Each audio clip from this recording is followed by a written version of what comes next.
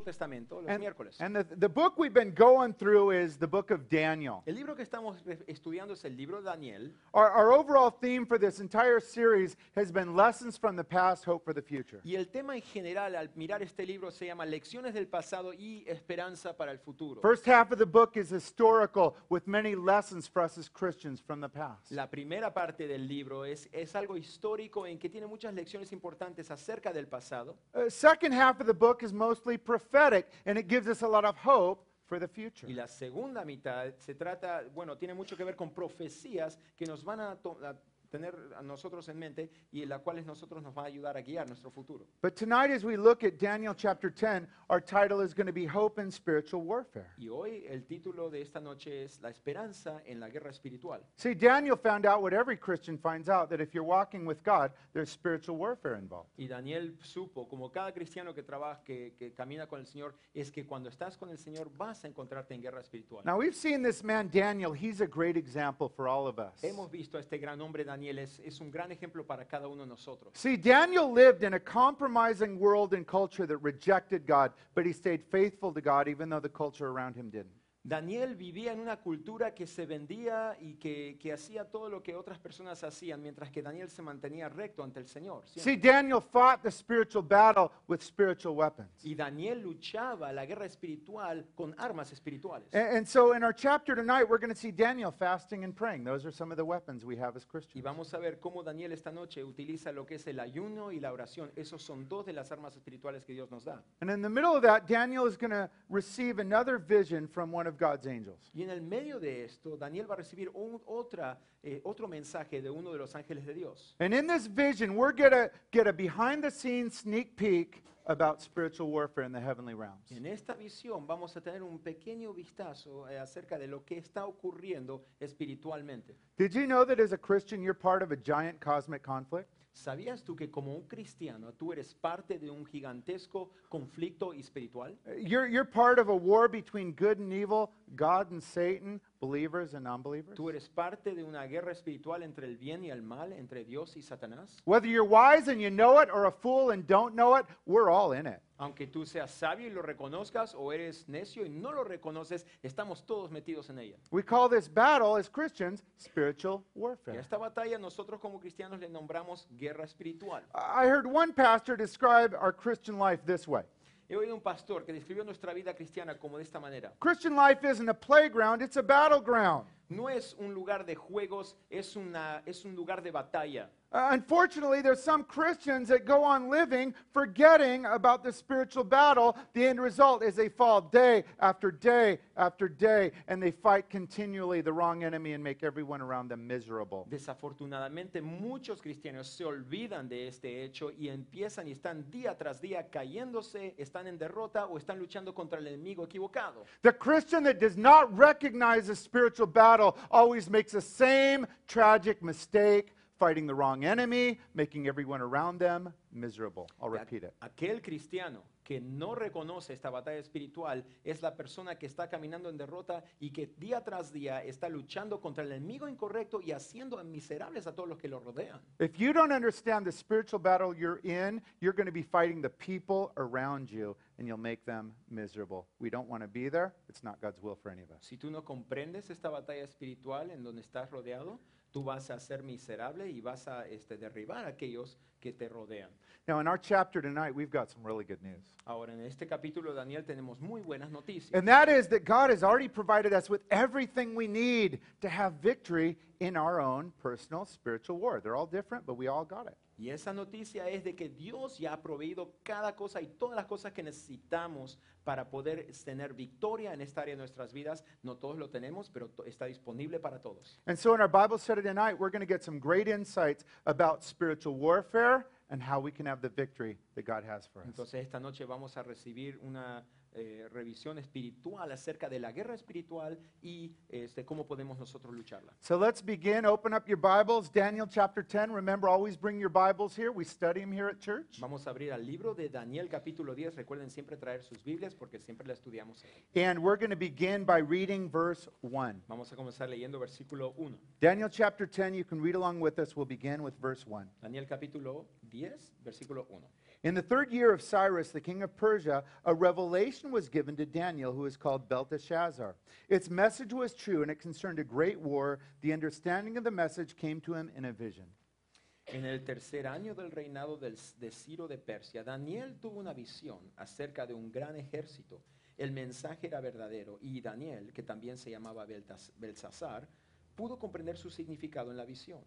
So, as we begin here, the author of this book, it's actually Daniel, his, his uh, Babylonian name was Belteshazzar, gives us a background of the chapter. Entonces, al comenzar aquí, nos da como un trasfondo aquí el autor que es Daniel acerca de lo que se trata este capítulo y su nombre, eh, su nombre babilonio era Belsasar. Daniel tells us the events of chapter 10 took place in the third year of Cyrus, king of Persia. Daniel nos dice que en, este, en esta visión tomó, dura- tomó lugar durante el tercer año de Ciro de Persia. Remember, Babylonian Empire, which took over Israel, was then overtaken by the Medo Persian Empire. That's the time period of chapter 10. Recuerden que el reino babilonio, que es lo que, los que llevaron a los israelitas este, en cautivo, eh, fueron tomados ellos mismos por el reino que era de los medos y persias. Historically, we know the year was 536 BC. Históricamente era el año 536 antes de Cristo. The the Medo Persian Empire was kind to the Jews. They let them worship. They even allowed the Jews to return to Israel if they wanted. El imperio medo-pérsico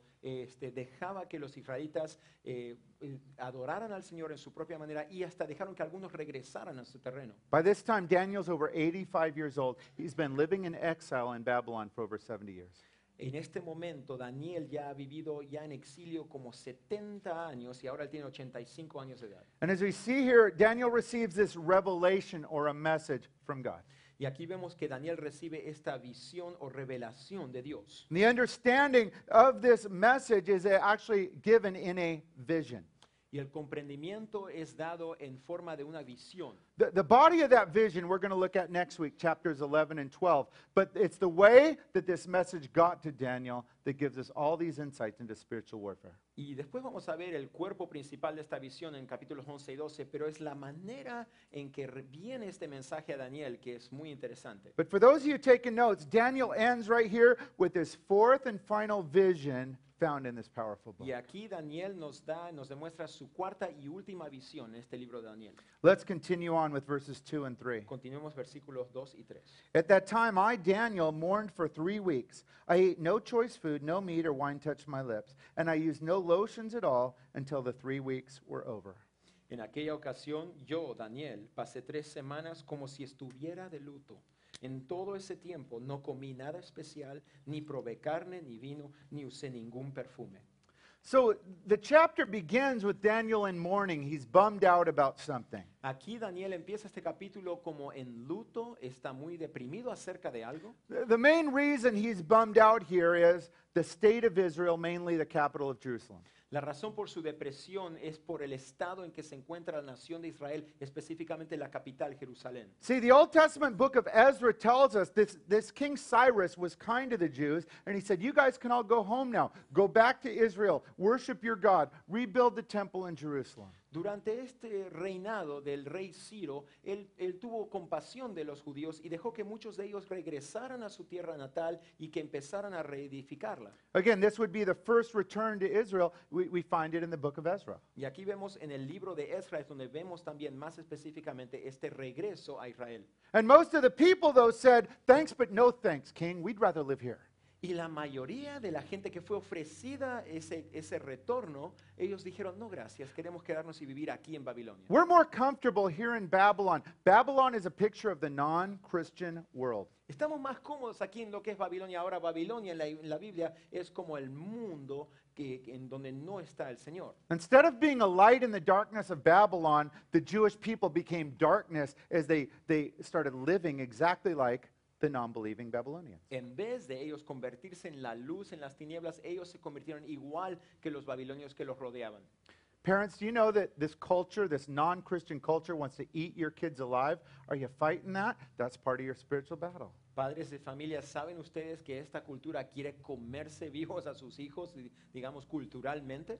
What spiritual battle? I just want them to like everything the world likes. Esta batalla espiritual. ¿Cuál batalla espiritual? Yo nomás quiero que ellos les guste todo lo que al mundo le gusta. That's exactly the path to hell that these Jews took with their children as they said, let them be like the Babylonian kids. Eso es exactamente el camino al infierno que estos mismos judíos estaban haciendo cuando decían, dejen que ellos sean igualitos que los babilonios. And, and all of that broke old Daniel's heart. Y todo eso es lo que quebrantaba el corazón de Daniel. So Daniel said, I'm going to change things. How can one person change things? Y Daniel dice, yo quiero que cambien las cosas. Ahora, ¿cómo es que una persona puede cambiar las cosas? When you need some change in your life or in the people around you, what do you do about it? Cuando tú necesitas cambiar algo en tu vida o en la vida de las personas que te rodean, ¿qué haces tú? I cry, I nag, I complain. Ah, me pongo a quejarme, me, pongo a regañar, no, me pongo a llorar. As we read here, the way Daniel tried to bring about godly change around him was by doing one thing praying and, and fasting as he prayed. No, Daniel lo tuvo y empezó a hacer este cambio de una manera piadosa y él dijo, yo voy a ayunar y voy a orar. Do you ever do that, faithful member of Calvary Chapel? A veces haces eso tú, fiel miembro de Capilla Calvario Rosarito. I, I was listening to this pastor preach on fasting, and he's going, Some churches never fast. Why? Because they got a fat pastor that won't fast, so he doesn't want to talk about it. He's convicted. Oh, he escuchado a un pastor de otra iglesia que dice que, que este, la gente en su, en su congregación no ayuna porque tiene un pastor gordito que tampoco quiere ayunar. Lo siento. I'm sorry. But for three weeks, Daniel fasted and prayed and brought his petitions to God in prayer. Pero por tres semanas Daniel seguía llevando sus peticiones al Señor y se mantuvo en este espíritu de You know what we're going to see God do? God heard it and God answered it. Vamos a ver que Dios escuchó esta oración y Dios la respondió.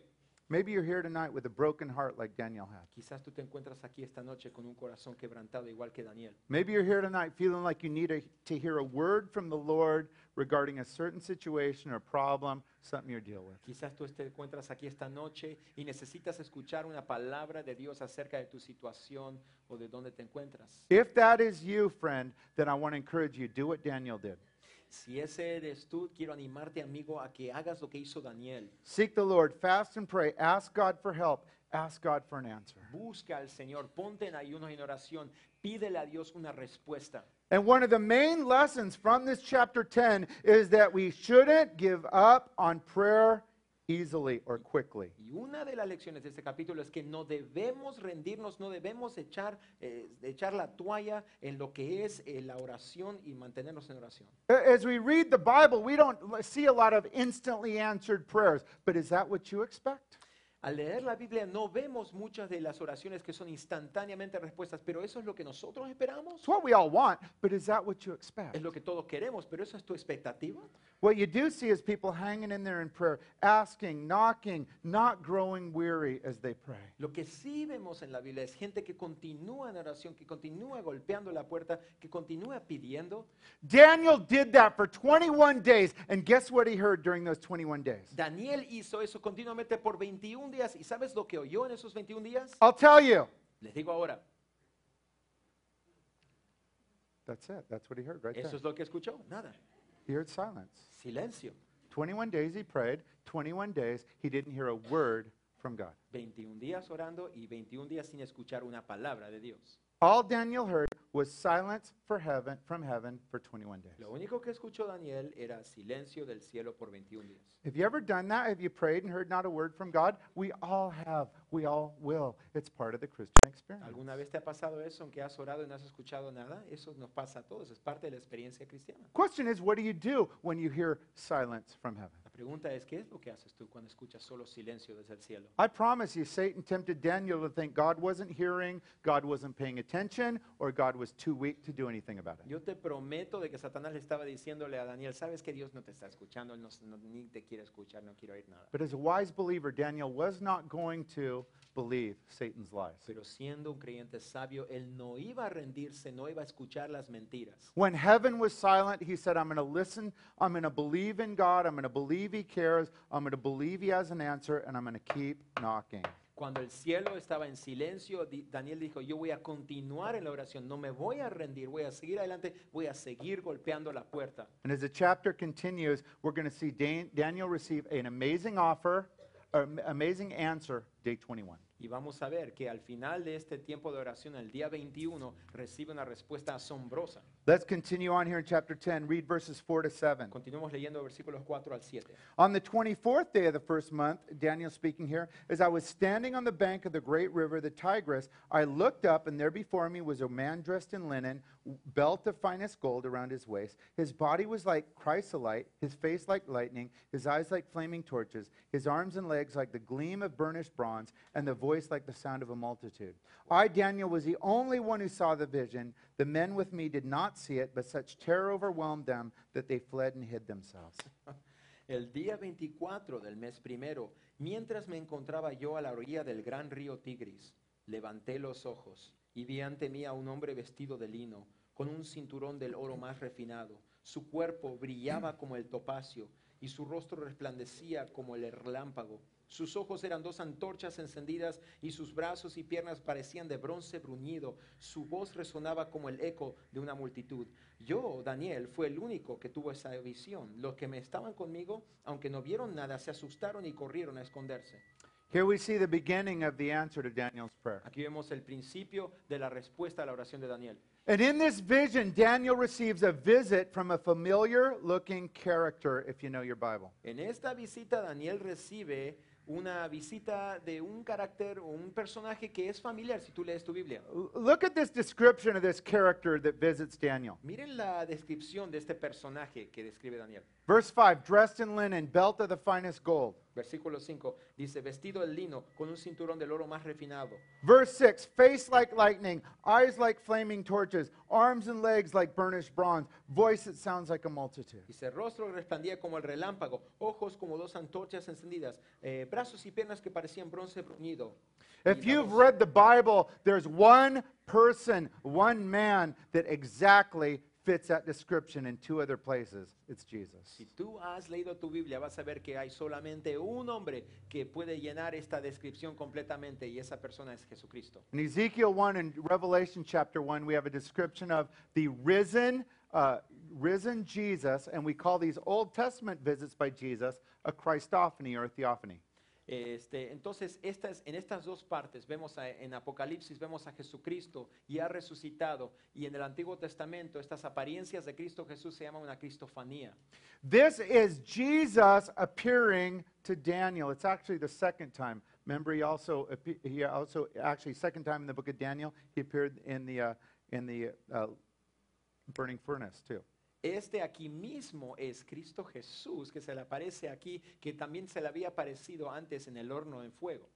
First thing that God does in the answered prayer is he reminds Daniel of Jesus. Lo primero que hace Dios es que le recuerda a Daniel de Jesucristo. Nobody loves me. God wants to remind you of Jesus. He showed his love Nadie for you on me the ama a cross. mí. No, Dios quiere re- recordarte de quién es Cristo Jesús en tu vida. Jesus doesn't have a big message here for Daniel. Someone else will, but not Jesus. The reminder is don't forget Jesus. Jesucristo aquí no tiene un gran mensaje para Daniel, pero nomás está diciendo, el mensaje viene por otro, pero de Jesucristo dice, no te olvides de Cristo Jesús. So Jesus comes to visit Daniel in his glorified body. This is what he's going to look like in eternity and when he returns. Aquí Cristo Jesús viene y se le aparece a Daniel en su cuerpo glorificado y así es como Él va a aparecer en la eternidad cuando nosotros lo vamos a ver. Did you see what Daniel's Babylonian friends did in verse 7? ¿Viste lo que hicieron los amigos, los amigos babilonios en el versículo 7? Daniel says, I'm the only one who saw the vision. The men with me didn't see it, but they fled and hid themselves. Dice, yo fui el único que tuvo esta visión. Los que estaban conmigo dicen que no vieron nada, se asustaron y corrieron a esconderse.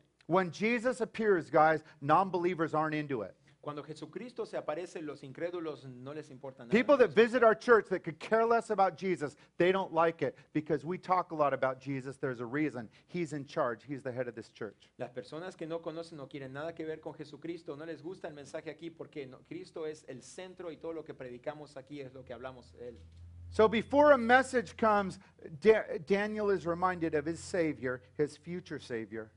Entonces, antes de escuchar el mensaje, la respuesta, Daniel es recordado acerca de su futuro Salvador, que es Cristo Jesús. But God also had, had, had some instruction for Daniel. We'll see that. Let's continue on verses 8 to 11. Pero también tenía unas instrucciones Dios para Daniel. Vamos a continuar leyendo. I was left alone, gazing at this great vision. I had no strength left. My face turned deathly pale, and I was helpless. Then I heard him speaking, and as I listened to him, I fell into a deep sleep, my face on the ground. Verse 10 A hand touched me then and set me trembling on my hands and knees. He said, Daniel, you who are highly esteemed, carefully consider the words I'm about to speak to you, and stand up, for I've now been sent to you. And when he said to this, I stood up trembling. Versículos 8. Ah, nadie se quedó conmigo y cuando tuve esta gran visión. Las fuerzas me abandonaron, palideció mi rostro y me sentí totalmente desvalido. Fue entonces cuando oí que aquel hombre me hablaba. Mientras lo oía, caí en un profundo sueño, de cara al suelo. En ese momento, una mano me agarró, me puso sobre mis manos y rodillas y me dijo, levántate Daniel, pues he sido enviado a verte. Tú eres muy apreciado, así que presta atención a lo que voy a decirte.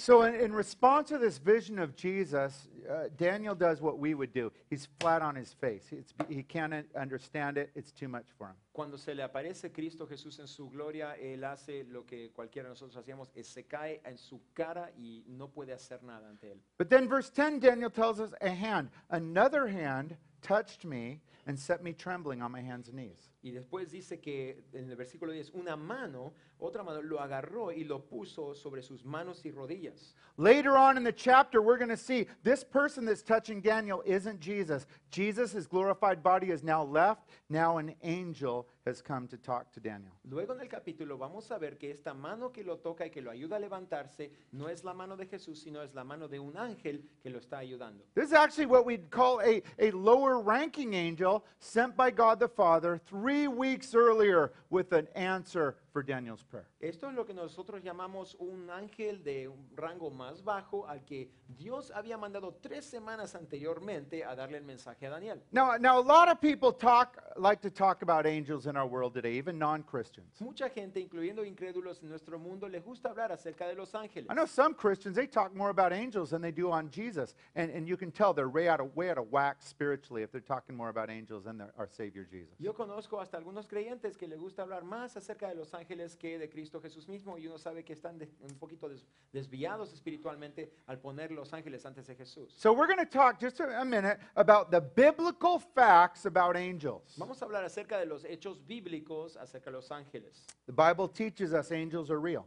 La Biblia nos enseña que los ángeles son reales. But saying that, well over 99% of the believers in the Bible never physically saw an angel in their lifetime. Pero habiendo dicho esto, más del 99% de las personas en toda la Biblia nunca vieron un ángel en toda su vida. So people that are seeing ma- many angels every day are either weird or slightly delusional, hopefully not both. Ah, entonces esas personas que están viendo muchos ángeles durante cada día están un poquito este, fuera de, de su mente o están un poquito desviados. See, the Bible teaches us the main realm of angels isn't here on the earth. The main realm is in the heavenlies, in the unseen spiritual realm. La Biblia nos enseña que donde se encuentra la mayoría de la actividad angélica se encuentra en lo que es este, el, estado celestial, el lugar celestial o espiritual. But from time to time in the Bible, we see angels making an appearance to believers, usually with a message not from themselves, themselves always from God. Pero de vez en cuando vemos que se aparecen los ángeles con un mensaje no de sí mismos, sino de Dios mismo. New Testament teaches us from time to time angels still can make appearance, appearances to believers. You may have seen an angel in your lifetime. En el Ante- Nuevo Testamento también nos enseña de que sí de vez en cuando los ángeles pueden hacer apariciones a las personas y hasta quizás tú o alguno de ustedes haya visto un ángel. Bible teaches us angels are created, they're not born. Baby angels look so cute in the pictures, but they don't exist. Este, la Biblia nos enseña que los ángeles son creados por Dios, no son nacidos, entonces no vemos esos, este, esos gorditos y muy curiositos angelitos volando, no existen. Angels don't die. Los ángeles no se mueren. Angels are powerful, superhuman beings that can materialize bodies when, when God gives them that instruction. Son seres más superhumanos y, este, y pueden hasta materializarse en su cuerpo aquí mismo. And there are times in the Bible when, when, when angels actually pass themselves off on purpose as people. Y hay muchos momentos en la Biblia en que los ángeles se hacen ver y aparecerse como personas para, es- para este, esconderse. Maybe you're thinking, that's so sweet. Maybe our pastor is an angel. Ay, No quizás one's estás thinking that. Ah, "No, I was qué hoping. bonito, I was Quizás nuestro hoping. pastor es un ángel. No, yo Hoping. estaba esperando que No. pensaran eso. Bible tells us that, that angels minister to Jesus and can minister to believers. La Biblia nos enseña de que los ángeles ministraron a Cristo Jesús en su tiempo de necesidad y también lo pueden hacer para nosotros como creyentes. There is a Bible verse that, that some people believe, and it might be true, that actually Christians have a guardian angel. That's a teaching based on a Bible verse. Hay, un- hay una enseñanza eh, eh, basada en un versículo de la Biblia que también puede ser verdad que cada creyente tiene su ángel guardián. Bible teaches us angels live in heaven. La Biblia nos enseña que los ángeles viven en el cielo. Bible teaches us that, that angels look down in the church. They're watching us right now. We can't see them. And they're going, What are you doing, God? Are you sure? Los la Biblia nos enseña de que los ángeles miran a la actividad aquí en- humana en la iglesia y nos miran y están mirando hacia nosotros y decimos, Dios, ¿qué están See, they haciendo?" don't understand the, the amazing love that God has for you guys. Ellos no comprenden el amor asombroso que nosotros sentimos de Dios para nosotros. Uh, angels can sin. Los ángeles también pueden pecar They have free will. And, and if they sin, they're kicked out of heaven. We call them demons. Y si ellos pecan y, sa- y a los que han salido del cielo los llamamos demonios. When Satan, an angel, a high ranking angel, rebelled, the Bible teaches, Old Testament, 130 of the angels followed him. They became demons. Cuando Satanás pecó y por su orgullo fue quitado y este de- quitado, corrido desde el cielo, un- la Biblia dice que un tercio de todos los ángeles se fueron con él en rebelión. Probably the, the most amazing thing about angels is the Bible teaches us that we as Christians will judge the angels. What does that mean? Una de las cosas más asombrosas que dice la Biblia es que nosotros vamos a juzgar a los ángeles. ¿Qué significa eso? It means that we will have a higher position than angels in heaven. I, I really can't imagine the angels are happy about that one. Sure, they don't complain, but I can't see them happy about that.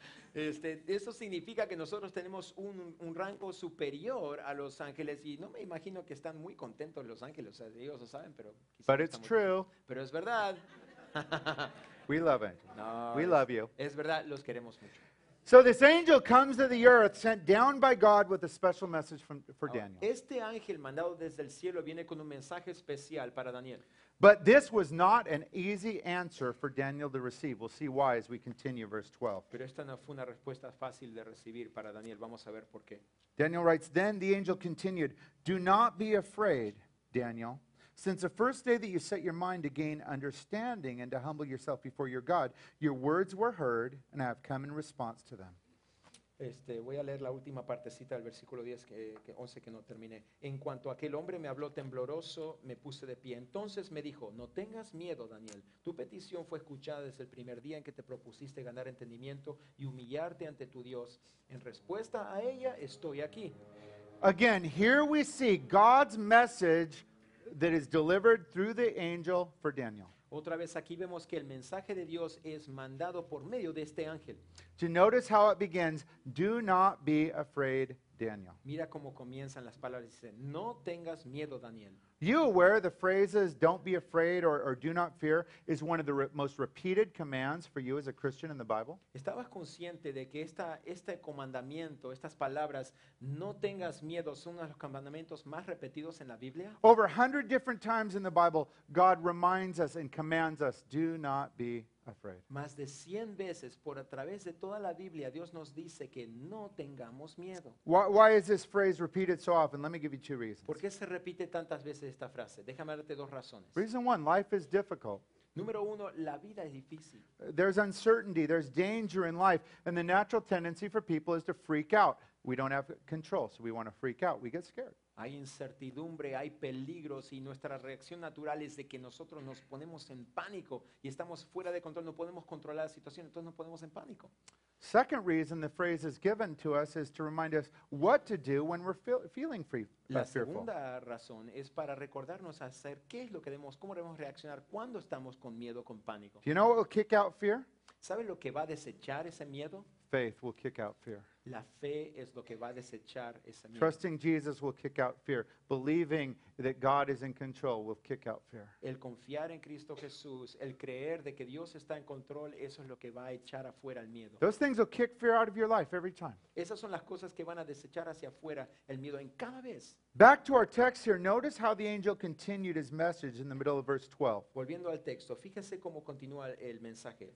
The angel tells Daniel, Since the first day you set your mind to gain understanding, 21 days earlier, and to humble yourself before God, your words were heard by God.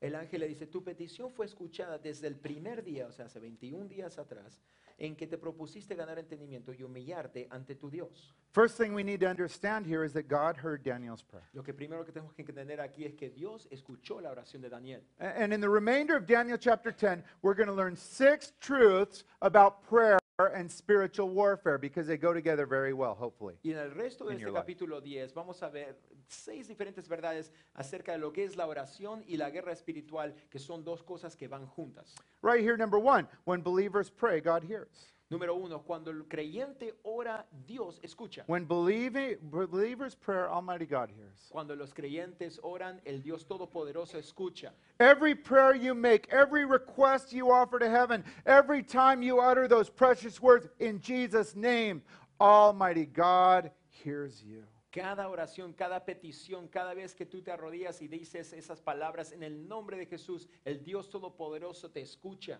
But then at the end of verse 12, this angel adds, And I have come in response to them. Pero al final del versículo 12 nos dice, yo he venido en respuesta a ella, a esa oración, estoy aquí. That means is not only did God hear, but God responded by sending Daniel, this angel, to deliver the answer. Y Dios no solamente escuchó, sino que respondió mandándole este mensaje por medio de este ángel. It's a reminder God always answers our prayers. Es un recordatorio que Dios siempre responde nuestras oraciones. Do you know that God answers every one of your prayers? ¿Sabías que Dios responde a cada una de tus oraciones? No, he doesn't. I asked for a nice car last year. I'm still driving my junky taxi. Ni modo, ¿sabes qué? El año pasado yo le pedí un carro nuevo y todavía estoy con este taxi que no oh, sirve para nada. God answered that prayer. Pero sí, Dios le respondió esa oración. Yeah, yeah, God will answer our prayers in one of three ways. Dios responde nuestras oraciones en una de tres diferentes maneras. God will either answer us yes, no, or I told you so. Dios responde sí o no, o ya te dije. Actually, no, it's yes, no, and his third answer is some form of wait, later, not yet, not right now. No, las respuestas son de veras sí o no, o quizás en alguna forma en lo que se espera, o después, o en otra manera. Here, here's the thing, guys God answered Daniel's prayer, and then Daniel had to wait. Entonces Dios respondió a la oración de Daniel, pero Daniel tuvo que esperar. Why did God allow 21 days of waiting for Daniel for him to get his answer? ¿Por qué dejó Dios que pasara 21 días hasta que recibiera su respuesta?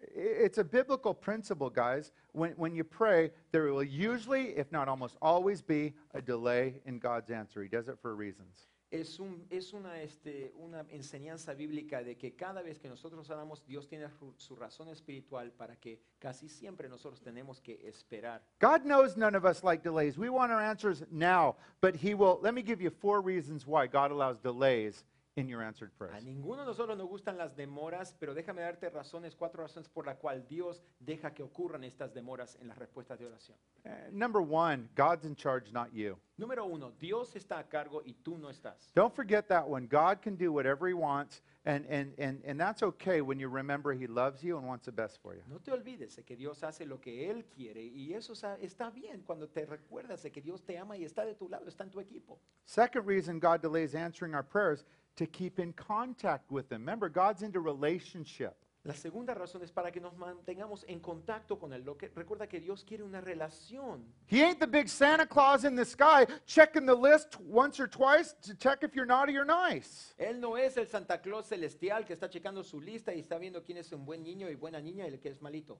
He's not the Buddha rubbing his belly so you get your answer tomorrow. No es como ese Buda que le, le tocas la pancita y te da tu respuesta mañana. He's your loving father that wants a relationship with you. And because he, he knows that if he gave you stuff immediately, you'd go, see you, God, got to use it. He says, I'm going to delay the prayer so we grow in our relationship because that's more important to me than the stuff I'm going to give you in the answer. Dios es nuestro Padre querido y cariñoso que Él sabe que quiere una relación, quiere, quiere conocerte más. Y Él sabe que simplemente si nos da cada cosa que le pedimos, nos otorga todo eso, nos, nos escapamos al próximo día y decimos, ya, ya nos vemos hasta luego, Dios. I, I know a lot of times personally when I'm, I'm waiting for an answer from God, God uses that delay to change my prayer request. En lo personal, yo sé que Dios utiliza esa demora, ese tiempo en la, entre medio de la oración y la respuesta para transformarme y cambiarme y utilizarme de esa manera. And, and, and, and maybe at the end of the delay, I'm going, man, God, glad you didn't answer the request the first way I asked it. Y muchas veces al final de- de- del tiempo yo digo, gracias Dios porque no respondiste a esa oración de la manera que yo la pedí. Remember when I was had my girlfriend in high school? God, let me marry her. Recuerdo cuando tenía una novia en Tomorrow. la, escuela, en la prepa y dijo, Dios, déjame casarme con ella mañana, por favor. God said no. She dumped me. Y di- Dios dijo que no y ella me, me dejó atrás. After I married my beautiful bride, Sarah, I saw her about 10 years later. I said, Thanks for not answering that prayer, God. Y lo bonito es de que pude casarme con mi hermosa esposa, con ella, que él puso casarse, y dije, Dios, gracias por no haber respondido esa oración.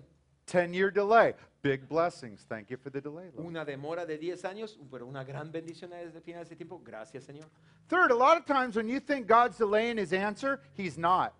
Terceramente, cuando tú piensas de que Dios está demorando su respuesta, Él quizás no lo está haciendo. God's just answered you no, and because you have a rebellious heart, you keep saying, God must not care, God must not answer. He cares, He answered, He said no. Let's move on. Muchas veces Dios simplemente responde que no y con tu corazón rebelde a veces tú sigues esperando y empujando la misma cosa cuando Dios te ha, te ha dicho que no.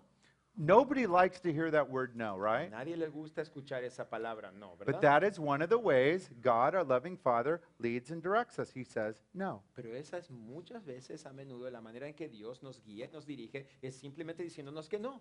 Now, now a fourth reason that, that an answer to our prayers can be delayed is because of spiritual warfare. Y una cuarta y última razón por la cual nuestras respuestas pueden ser demoradas es porque Dios, porque está ocurriendo lo que es una guerra espiritual. As we're about to see, that was what was happening in this delay to Daniel's prayer. Y estamos mirando, y esta es una de las razones de lo que pasó por la demora en la oración de Daniel. We- We'll see that as we read verses 13 and 14. Estamos viendo esto, eh, mira el versículos 13 y 14.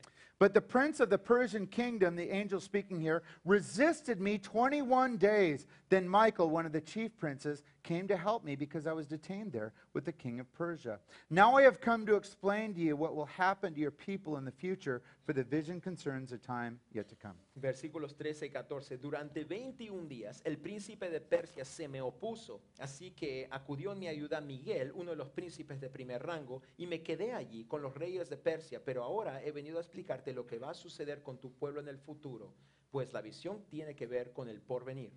Now keep in mind, God's in control of all this, but God allowed this delay to show us spiritual warfare. Ah, Mantén en mente el hecho de que eh, Dios ya ha respondido esta oración, pero ha dejado que ocurra lo que es una guerra, batalla espiritual aquí. So, so God, God the Father heard the prayer. God sent the angel with the answer 21 days earlier.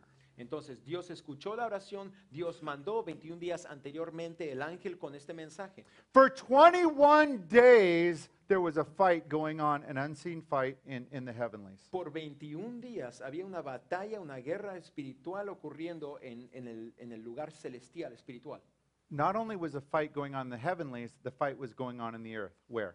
No solamente estaba ocurriendo una batalla celestialmente, pero también en la tierra. ¿Dónde? In Daniel's life and his heart. En la vida, el corazón de Daniel. His fight was would he give up? Would he quit? Would he throw in the towel? Su batalla sería, pues iba a él rendirse, iba a echar la toalla, iba ya a darse por vencido. If he would have quit his war, I can almost guarantee you he would have never gotten the answer. Yo te garan- casi garantizo que si él debería, habría dado por vencido, él nunca habría escuchado su respuesta. See, with the heavenly battles going on that we don't see, there is always also an earthly battle going on, and you're the fighter on that side. Y entonces cada vez que ocurre una batalla celestial, también ocurre una aquí en la tierra y siempre ocurre en nosotros, en nuestro corazón. So in verse 13, this angel tells Daniel, The prince of the Persian kingdom resisted me 21 days. Dice, durante 21 días en versículo 3, el príncipe de Persia se me opuso.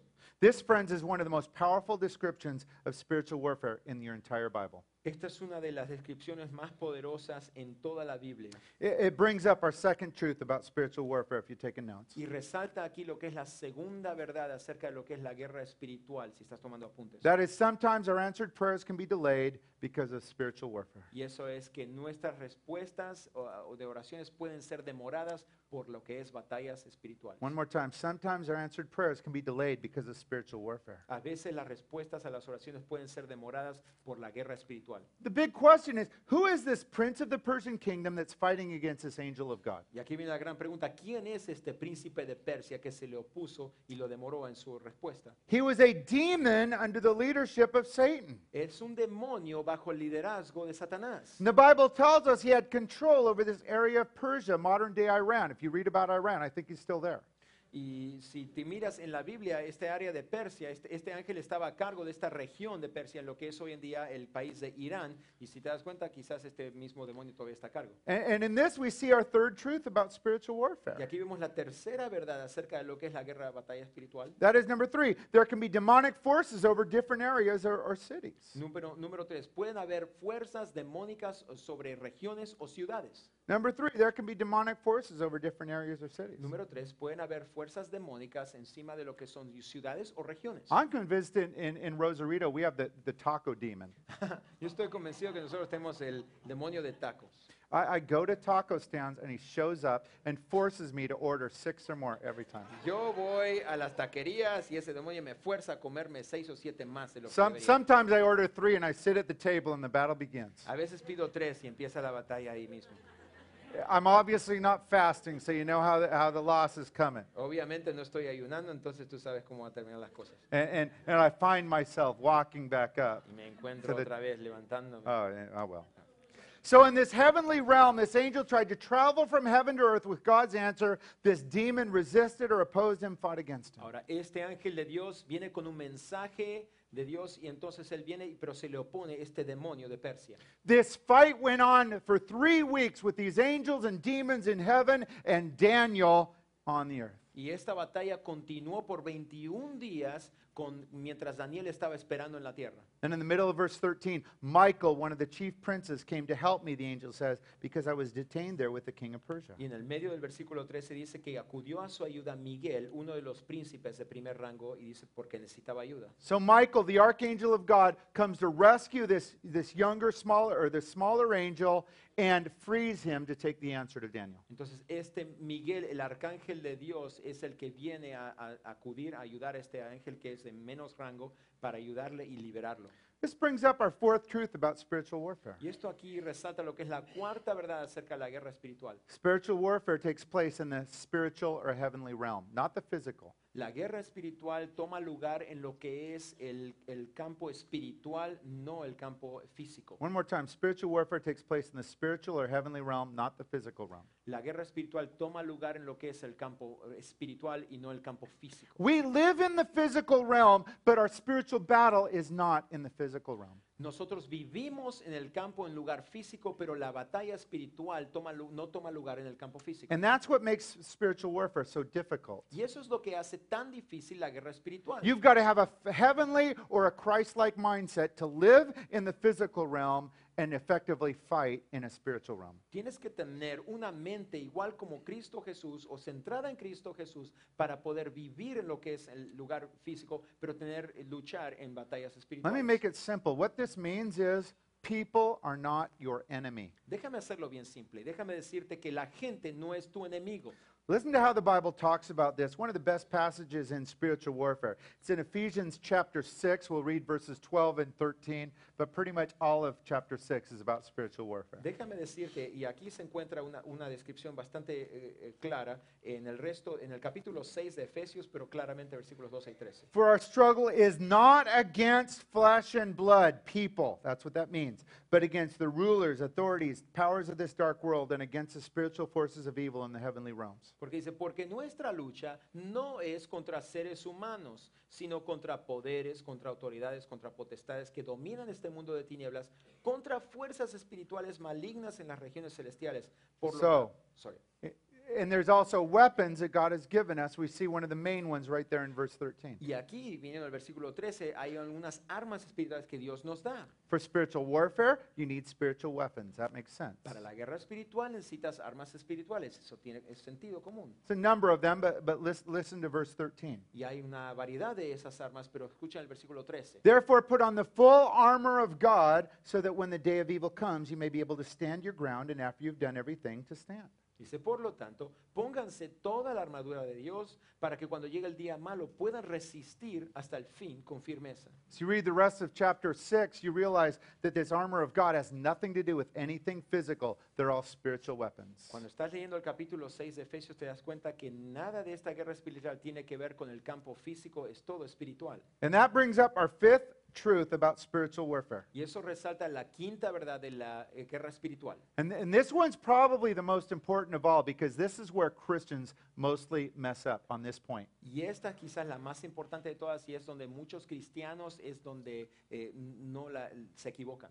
Number five, people are not your enemy. Número cinco, la gente no es tu enemigo. People are not your enemy. La gente no es tu enemigo. Your enemy isn't your spouse, it's not your boss, not your pastor, not your church, not your neighbor, not your government, not any other person. El enemigo no es tu cónyuge, tu jefe, tus compañeros de trabajo, los políticos, el presidente, el país, el gobierno, este, el- el conductor, el taxista, nadie.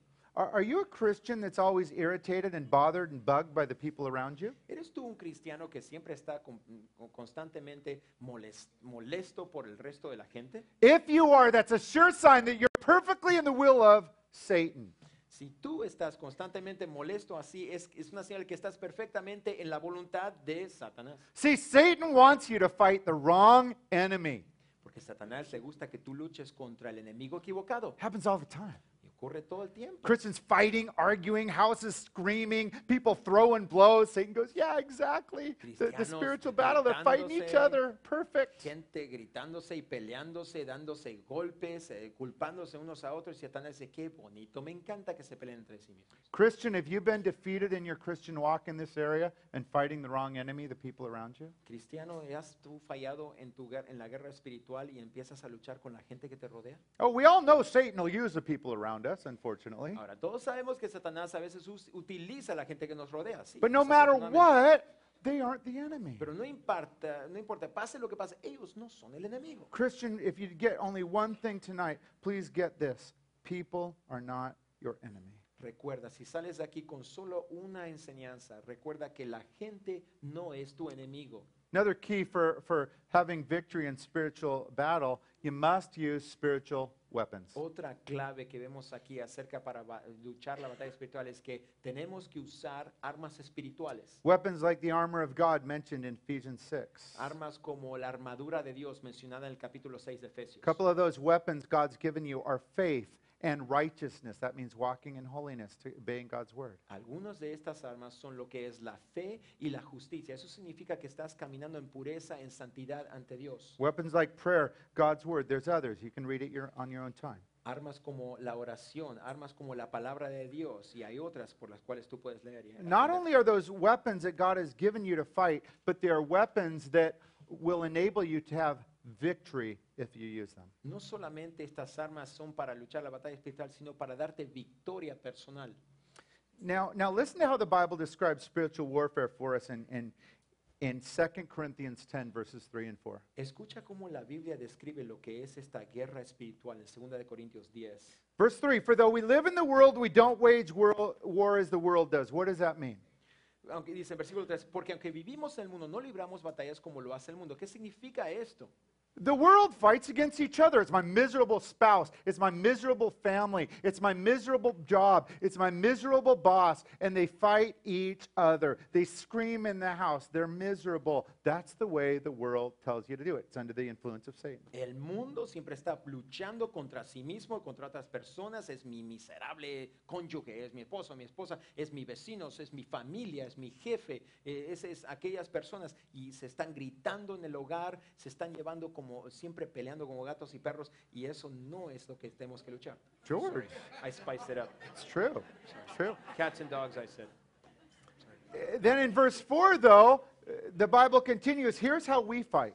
Pero as mira cómo Christians. nosotros luchamos como cristianos en versículo 4. Weapons we fight with, they're not the weapons of the world. On the contrary, they have divine power, spiritual, godly power to demolish strongholds, spiritual strongholds. Dice, las, las armas con que luchamos no son del mundo, sino que tienen el poder divino para derribar fortalezas, fortalezas espirituales. You have a miserable marriage? It's because there's a demonic stronghold in your house that you have allowed to creep in.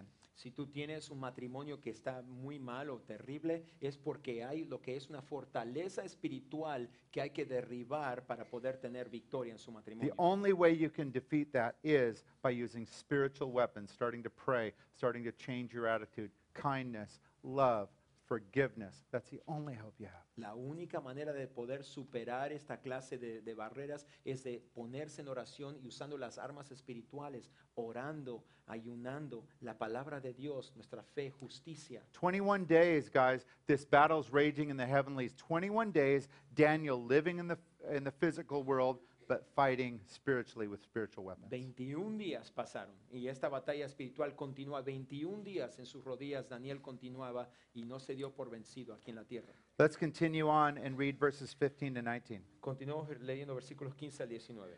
Daniel continues, While he was saying this to me, I bowed with my face toward the ground and was speechless. Then one who looked like a man touched my lips, and I opened my mouth and began to speak. I said to the one standing before me, I'm overcome with anguish because of the vision.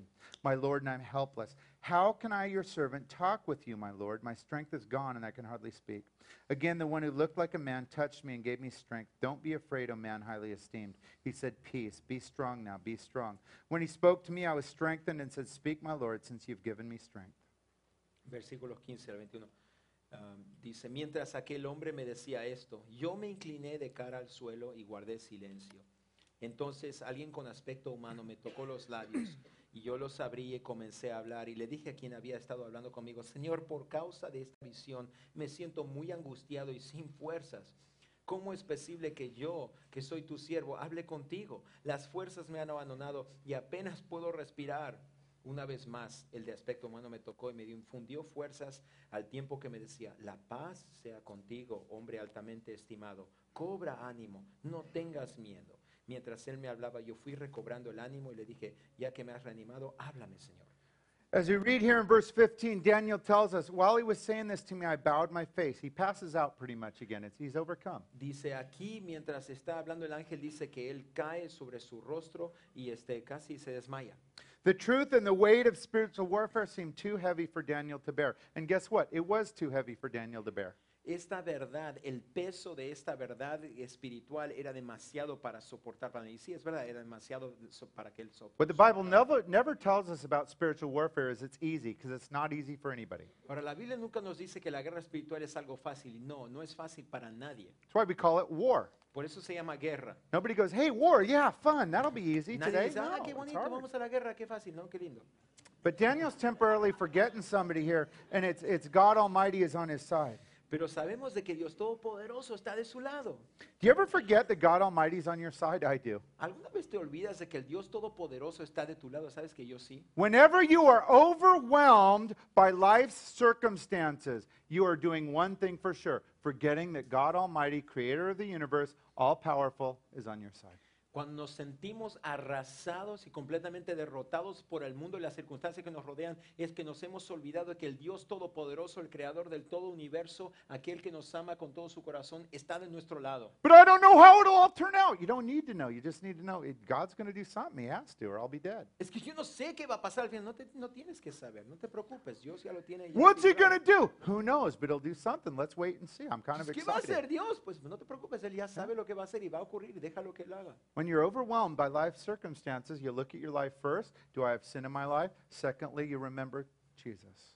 Cuando te sientes arrasado por la vida, tienes que primero preguntarte, ¿hay pecado en mi vida? Y después lo segundo que tienes que recordar es, yo recuerdo y tengo que a Cristo Jesús. So, verse 19, this angel tells Daniel, Do not be afraid, O man highly esteemed. Key word, highly esteemed there. Versículo 19 le dice, no te dice, la paz sea contigo, hombre altamente estimado. La, clave es aquí, hombre altamente estimado. Th- This word the angel uses to describe Daniel, highly esteemed, it's an important word, only used three times in the Bible. Esta palabra que le dice altamente estimado, es, es- es- solo se usa tres veces en la Biblia. It's used later in, in Luke chapter 1 to describe Mary as highly favored among women to give birth to the Messiah Jesus. Se usa esta misma expresión en el capítulo 1 de Lucas para hablar, el ángel que habla con María dice, tú quien eres estimada altamente para, a, a Dios. And then it's used one final time in the New Testament, Ephesians 1 6. Se usa una última vez en Efesios capítulo 6.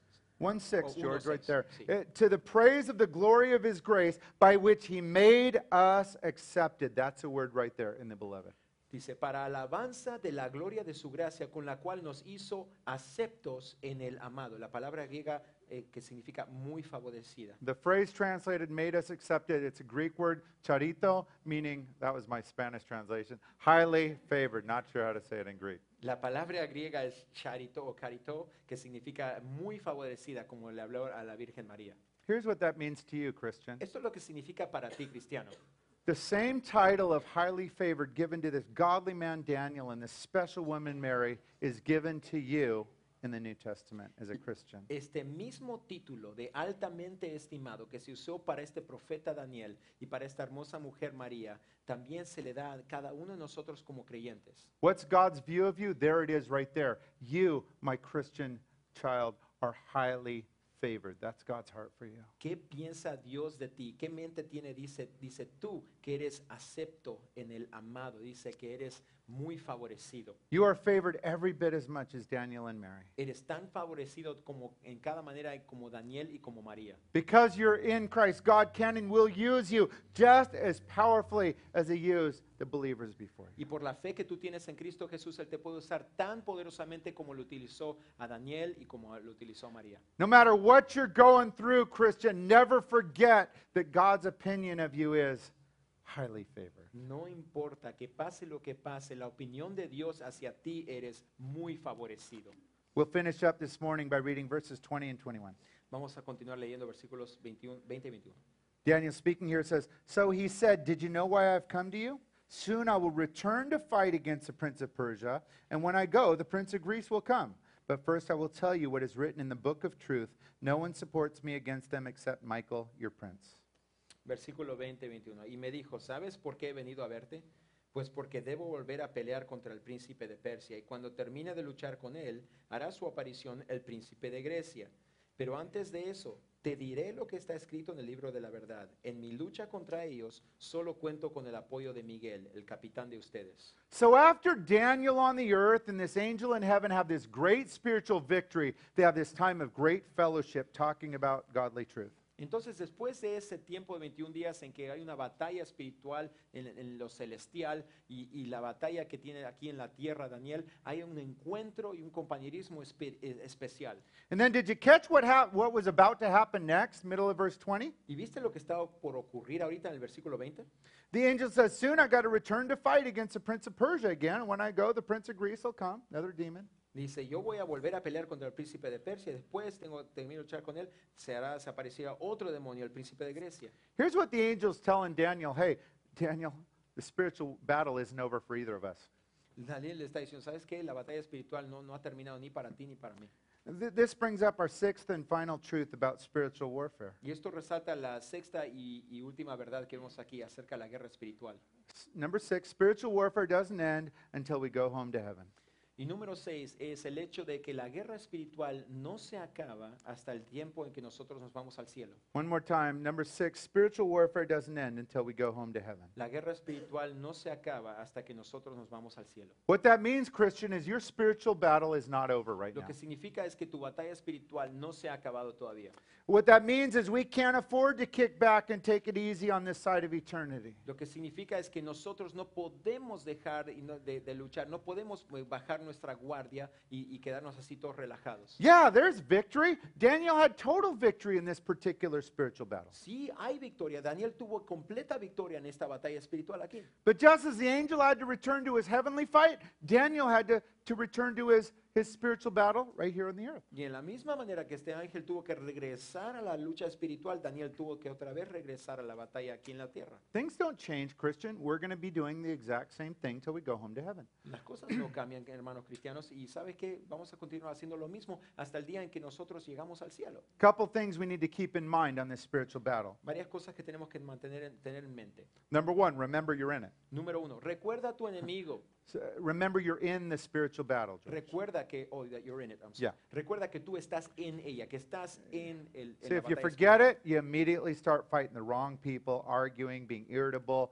fighting against flesh and blood. Porque si te, te olvidas de este hecho, empiezas a luchar con la gente, con la persona equivocada, empiezas a luchar con la gente, tus enemigos, con, tus, eh, con los compañeros, las otras But as you go to war, you got to remember this too. You're on the winning team. Pero cuando vas hacia la guerra espiritual, estás en el equipo que va a ganar. Because you are in Christ and you're with Jesus, you're on the winning team. Por el hecho que estás en Cristo Jesús, tú estás en el equipo que gana. Listen to how the Bible describes what Jesus did in Colossians 2:15. Mira lo que dice la Biblia acerca eh, de Cristo Jesús en Colosenses 2.15. Having disarmed the powers and authorities, he made a public spectacle of them, triumphing over them by the cross. Dice, desarmó a los poderes y a las potestades y por medio de Cristo los humilló en público al exhibirlos en su desfile triunfal. What that means is that Satan and his demonic hordes are losers. I better look down. Losers. Lo que significa es que Satanás y su ejército son una banda de perdedores. So don't let them come into your spiritual battle and gain some gain a couple useless little tiny victories. They're losers. Remind them and keep them that way. Entonces no dejes que Él entre en tu vida y que tenga lugar y que haga fortalezas y que tenga unas victorias insignificantes en tu vida. No le des lugar porque son unos perdedores. They lost the war, but there's still a couple little um, kind of unimportant skirmishes, but they're going to be important to us because we're right in the middle of it. Ya perdieron la guerra, pero todavía continúan algunas batallitas insignificantes que van a continuar en nuestras vidas hasta el fin. But do not forget, Satan and his demonic courts have no power over us. Ahora recuerda que Satanás y sus ejércitos y sus demonios no tienen poder sobre nosotros. Listen to this wonderful promise for you from your Bible about the devil, James 4 7. Escucha esta hermosa promesa que Dios tiene para nosotros en el libro de Santiago 4:7. Submit yourselves then to God. Resist, here's, a, here's a promise resist the devil, and he will flee from you. God's promise to you. Dice, así que sométanse a Dios, resistan al diablo, y aquí está la promesa, y él huirá de ustedes. See, because we have this personal relationship with Jesus, we can have total victory in our lives in this area of spiritual warfare. It's there for us. Y por la razón que nosotros tenemos una relación personal con Cristo Jesús, nosotros tenemos éxito en esta batalla espiritual. Aquí está prometido. I, I love the way the Apostle Paul closes out 1 Corinthians 15 as he rejoices. Listen, listen to what he says. Me encanta cómo cierra el capítulo 15, primera de Corintios, al regocijarse el apóstol Pablo. And, and he said this with a shout, so I'm going to. But thanks be to God who gives us the victory through our Lord Jesus Christ. Y. Pablo lo dice gritando, así que también yo lo voy a hacer. Bueno, Mike ya lo gritó, dice, pero gracias a Dios que nos da la victoria por medio de nuestro Señor Jesucristo. Paul said that like you would be yelling out goal at a football game. Pablo lo dijo así en manera tan grande como si cuando estás gritando un gol en un, un partido he's writing this letter, he says, This is the best news of all. Don't forget this, Christian, that he gives us the victory through our Lord Jesus Christ. Aquí es donde pone el punto de exclamación y lo dice con gran fuerza. No te olvides, cristiano, que ya tenemos la victoria por Cristo Jesús. So we finish up, Christian. Yes, you're in a spiritual battle. Entonces terminamos aquí, cristianos. Sí, estás en una guerra espiritual. We have nothing to fear. Y no tenemos nada que temer. We're on Jesus' side. Estamos del lado de Jesús. We're going to fight with his weapons. Vamos a luchar con sus armas. And the victory is ours. Y la victoria es nuestra. And that's good news. Y eso son buenas noticias. Amen. Amén. It's good news for all of us that are Christians here. I do want to ask everyone, especially the visitors, are you a Christian? Estas son buenas noticias para cada uno de nosotros que nos llamamos cristianos, pero la pregunta a aquellos especialmente que nos están visitando, ¿eres tú un cristiano? Jesus said you must be born again to get to heaven. Are you born again? Jesucristo dijo que para entrar al tener vida eterna tienes que ser renacido. ¿Has renacido? The Bible describes being born again as, as someone that has repented